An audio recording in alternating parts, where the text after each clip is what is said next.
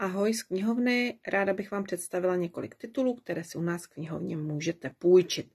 První z nich je Život není kabaret a vypráví příběh dvou kamarádek, Hety a Elvíry, které prchají z cirkusu rovnou do úžasného kabaretu a zažívají tam přátelství, první lásky, ale i dobrodružství a nebezpečí. Další knihou je Evoluce, která vypráví e, příběh o skupině studentů, kteří letí na výměný pobyt do Ameriky, ale když přistanou, tak zjistí, že svět je úplně jiný, že se všechno změnilo a začíná boj o jejich život. Další knihou je Mé sladké 16. století. Vypráví o Ket, které bude brzy 16 a těší se na výlet do Florencie. Při prohlídce tohoto úžasného města zavítá do cikánského stanu a díky němu se přenese do 16. století. Jaká dobrodružství zažije, dozvíte se v této knize. Dalším titulem je Styk.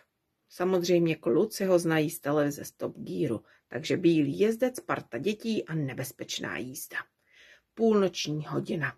Půlnoční hodina je napínavý příběh o Emily, které se ztratí rodiče. Uvíznou v půlnoční hodině, kde se zastavil čas. Emily má pěkně prořízlou pusu a vyzbrojená oschlým sendvičem se vydává rodiče zachránit. Poslední z titulů je Hraničářův očeň od Johna Flanagana. Je to celá série příběhů o chlapci, který se chtěl stát rytířem. Bohužel byl malého vzrůstu a mezi rytíře nebyl přijat. Proto je v učení u hraničářů. Dobrodružná fantazy pro kluky i holky. Tak to byl dnešní přehled knih, které si u nás můžete půjčit. Ale samozřejmě máme jich mnohem víc a těšíme se, až zavoláte a nějakou si objednáte.